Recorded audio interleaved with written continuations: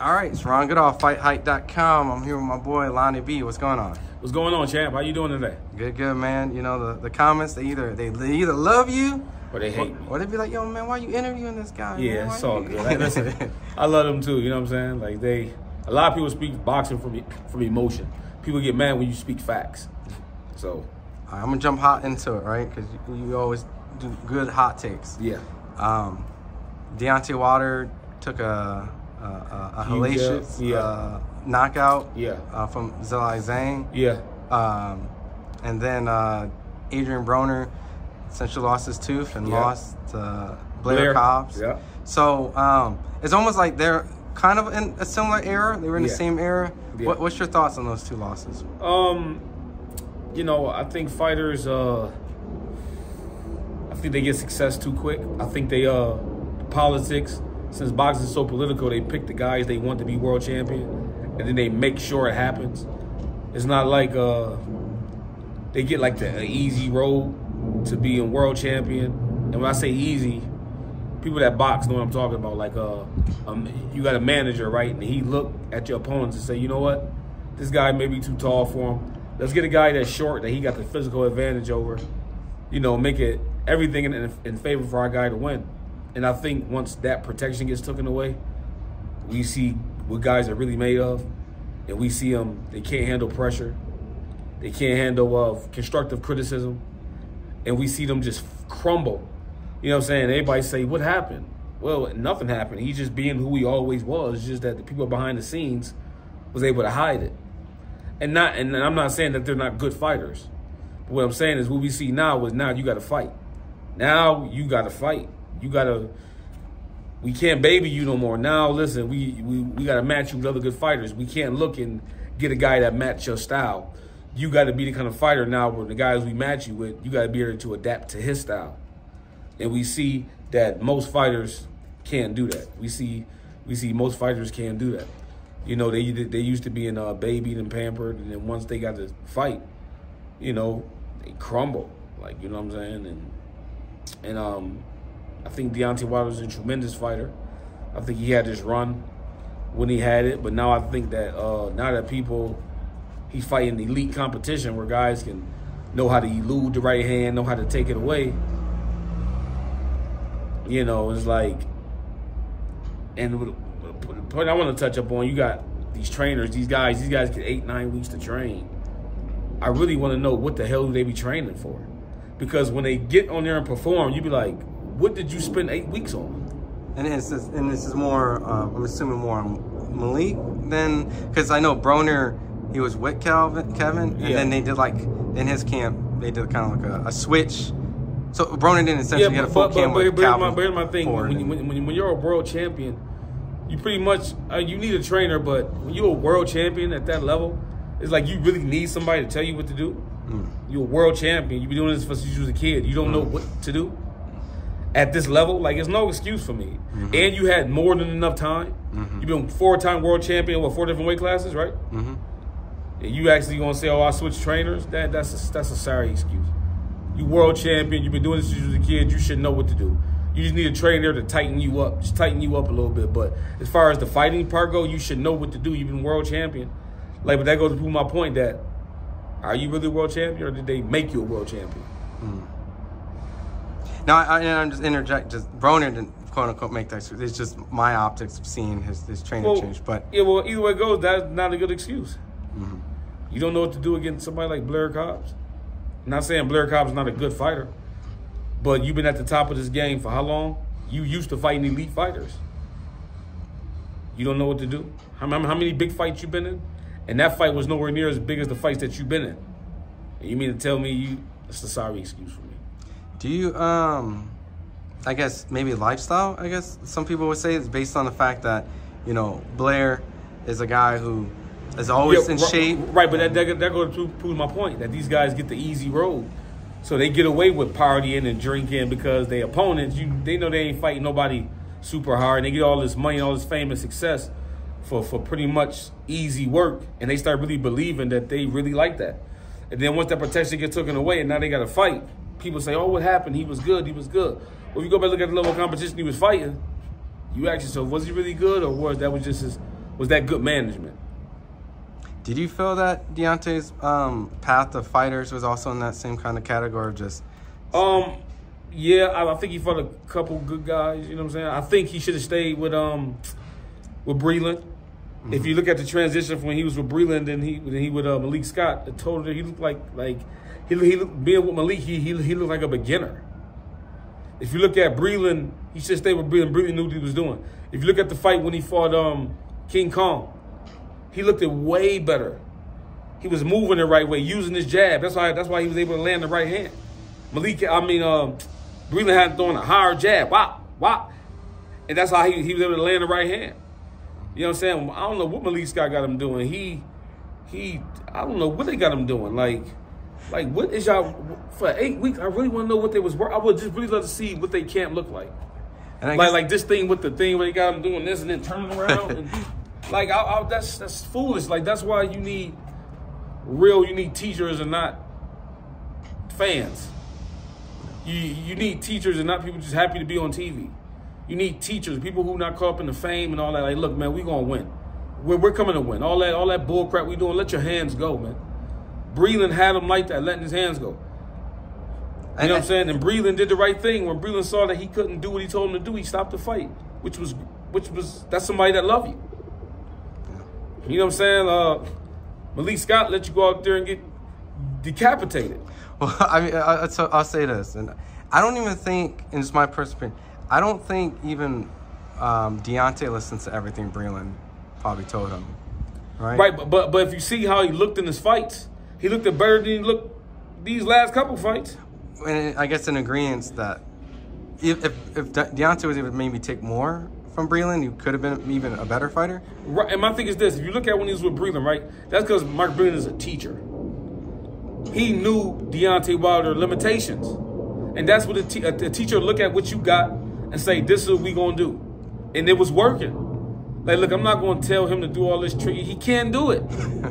I see what you're saying. He can't do it. So what I'm gonna do? Listen, you let your hands go. You use that jab. You use that jab. Up and down, up and down. Blow! Surprise him with the right hand. Like you thought, like like Malik Scott. You saw how he like like look when he fought King Kong. King Kong is a southpaw. Look how he was jabbing and turning. Nah, nah. He was turning away from that. That and right. Now look at when he with Malik Scott. Wouldn't you say he had his he used to paw his jab at times though? Or it was just yeah, more excessive. Yeah, he used to he used to his time, but he used to use it. With Zhang, he wasn't even using it. He just was You can't hurt nobody doing that, especially nobody like a heavyweight. You got to step in and come with some, some thunder with your hands up. Like I, I, I, just, I just would love to see what they, what their training camp was like for all them weeks. I would just love. My Malik Scott trying to, trying to like teach him stuff that, like I saw like Clippers, like what are you trying to teach him? Like he way too far in his career for you to teach him that. He's at the end of his career. Nah, you can't teach him that now. He's been successful doing what he's been doing. Just build on it. Listen, keep letting your hands go. You the bronze bomber. Throw bombs. Don't don't don't don't call yourself the bomber. Come out there throwing uh throwing uh bullets. No, throw bombs. You know what I'm saying? So that's just my assessment. I just think he should stay with Breland. And a, and a quick review on that same card. Um, you know, here at the DLX Boxing Gym, you've been adamant that Arthur beats the shit out of Bivol. Oh yeah. Uh, that performance that Bivol had, he got a stoppage. Oh god. Did, did it did it change? No, a little did bit. Not. Did it, it make didn't. it worse? It made it worse. like whoever look at that fight and still think that he can beat Arthur is just insane. It's just really insane. Look how that kid was landing shots. If that kid believed in himself, he would have gave Bivol a much tougher fight. Look at the little stuff he did that was working. The shots that he would that he hit Bivol with Arthur hit him like that, it is a wrap. It's a wrap. Period. And Arthur's way better than that guy he was fighting. And that guy was giving him, even the commentators was like, yo, Bivol needs to step it up. Like he he like like like what is he doing? Like, you know what I'm saying? Even the commentators was like, yo, he just need to, you know what I'm saying? Like they was even complaining. If anybody think he can still beat Arthur after that, it's just crazy. It's just crazy. Like, it's crazy. I think once you get hit, it's a wrap. You know, um, you know, in addition to your prediction, yeah. you've also picked Fight Week. David Benavidez is going down against Alexander. Did yeah. it change? No. Nope. I'm, I'm, I'm, I'm gonna stick with from what I've seen from both fighters. David is used to fighting blowing up 54 and 60 pounders and being comfortable in fights. And he's so big and so tall. These guys he's fighting is my height and smaller than me. And he used to just being comfortable in fights, walking guys down, right hand. You're gonna get tired, you're too small. But now he's fighting somebody his size and big that can punch and that can box. He's gonna have to put out some work. I'm going off what I've seen. Anything can happen in boxing. David might crush him. From what I've seen from both fighters, I just don't see that happening. Like he gonna have to come out and fight. He he got to come out that shell and fight. This right here, being his defense, he he gonna have to do something different. Cause Gvozdyk gonna be that around that turn that he can punch, and he's big to keep David. He's big enough to keep David off. And he's been hit by guys who punch way and fought guys way better than Bivol. You think, I mean Benavidez, you think Benavidez punch harder than um who they got? Uh, Adonis Stevenson. You think you think David Benavidez punch harder than Beterbiev? So I can't see David bringing nothing to the table. This and he was a bronze medal Olympian or a silver medalist. Somewhere he was an Olympian with the, the with a medal. So you think he ain't seen a, a bunch of David Benavidez? Hmm. Question is, have David Benavidez ever seen somebody like him? They sparred. Sparring and fighting two different things. And sometimes in sparring, you go easy. I'm, I'm, I go easy on guys I know I can crush. Like just because you got the better of me in sparring, I'll probably let you get the better of me in sparring. Let's fight though. Yeah. You know what I'm saying? I think this kid is tough. I don't think David Pressure is going to be a problem. Like after being in there with Beterbiev, I don't think David Pressure is going to be a problem. I don't think David's punching power is going to be a problem. I don't think David's skills is going to be a problem. I think he got way more skills than David. I just think David's been protected better. Mm-hmm. You know what I'm saying? It's, it's going to be an interesting matchup. But David, but David is a big, he's a big guy anything can happen in boxing. But from what I'm seeing from both fighters in their fights, I got them beating David. Um, my last question is: After this fight, we with Tank and Frank, yeah. right?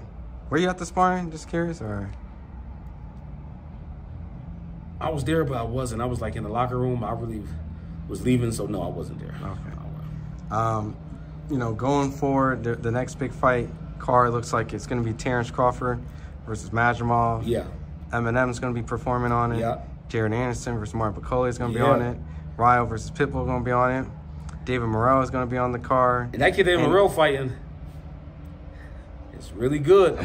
Tell like I, I, I, I like I, I, like uh, what's his name Turkish what's his name Turki Al-Sheikh Turki Al-Sheikh yeah hats off to him man because I'm gonna tell you why because he's making 50-50 fights the last card they just threw, that's the first card in boxing I watched in a long time from start to finish. And was happy about every fight. Like, oh, okay, this is gonna be a good one. This is gonna be a good one. This is gonna be a good one. This is gonna be a good one. Was it even though Frank swept like swept the but it, but it, but it was good fights. It was that's what makes boxing great because now we get to see who is who. It's not like America where they pick a bum off a cab driver and you knock him out and they say, "Oh my God, this is the greatest thing you've ever seen." Turkish Al-Sheikh like, nah, we gonna see if you really like that. I'm gonna match you with somebody on your level. On paper, that's on your level. And we gonna see who's really good. Now we got to see who's really good, who's really the future of boxing. So is Crawford Madrimov 50-50 to you? It's a, it's a, it's a tough fight for Crawford. I think I think it's a, I think I think I think Crawford wins, but it's a it's an exciting fight and Crawford got to bring his A game. I'll put it like that.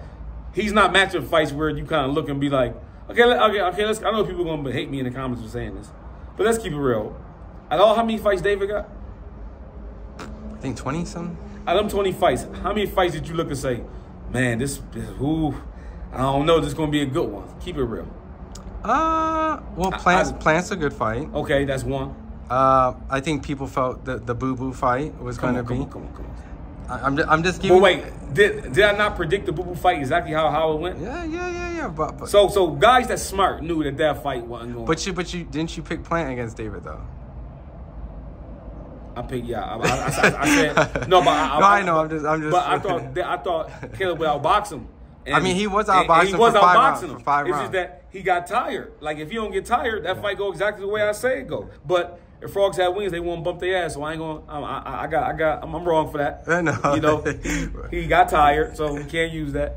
You know, but, But there was uh, a hell of five rounds, boy. He was styling on David. He was style. He exa- and, and think about the one he about to fight. He fighting a guy that's bigger, that punch harder, that don't get tired, okay. that can box like that all night. But anyways, like, But Crawford It- Madrigal, it- 50 50? What is it? uh, no, I don't got 50-50. what do you got? 60 40? No, I got I got at like uh 70-30 for Crawford. 70 30, 80 Crawford is, 20? a, Crawford is a beast, man. Crawford is a beast. Like we we gonna see how good. about this kid gonna bring it. This kid's gonna bring it. Crawford got to be sharp. This kid gonna bring it. He's gonna bring it. So it's an exciting fight to watch. Like that, this whole card is coming up. I'm gonna watch every single fight. Like man, it's gonna be a good one. It's gonna be. It's been a while. It's been over a decade since I watched a fight from start a card from start to finish. I say, uh, call me when the co-main event get here in the main event. You know what I'm saying? But his fights, Turki Al-Sheikh, my hat's off to him. He making boxing great again. He's making boxing great again. And if you want some real work, he'll get Lonnie B on the card and watch me destroy any 68 out there. My last thing Matias fights, Liam Paro, your boy Teofimo Lopez, and, and, Yeah. and Matias. That, that might that might be the that might be the banger. That might be the banger. So Yeah. so so. Uh, but tell you the truth, Matias got some work cut out for him. This kid Liam can fight. I was in the gym with him. He got skills. He don't get tired. He but the thing is Matias keep coming. If if he if the kid Liam can slow Matias down, make him fight at his pace, I think he beats Matias. But Matias is that's that's, that's a tough cookie. It's a tough cookie to crack. You know, but um um um it's gonna be a good fight. It's gonna be a good fight. The kid Liam can fight though. Don't don't sleep on him. He can fight. He can fight. But if, if Matias gets past Liam, food for Teofimo Lopez, or or is that Absolutely. Yeah. Food. Like, the thing is with Tio, I don't want to give too much, you know, but he's better than when he look when he look on TV. He's got one of them styles where, oh, he easy to hit with that. Then you realize he not, but he can crack. Boom. Uh oh. Like, you know what I'm saying? So, so um, yeah, I don't want to give too much, but um, y'all would love that fight, Matias and Tio. I would love that fight. We we we we put together a nice little game plan and shock the world. All right, Lonnie. Before I let you go, uh, outro. Where can they find you? What's next? Lonnie be the champ on Instagram, Lonnie B168 on Snapchat, and Lionel Lonnie B Thompson on Facebook. Thank you guys that love me and thank you guys that hate me. I love all y'all. And um, we got something soon. I thought I thought we was gonna be able to get on this TO car, but you know things didn't come to fruition. And um, I'm in the gym, and um, something gonna come up, and um, you guys will see me soon. Believe that.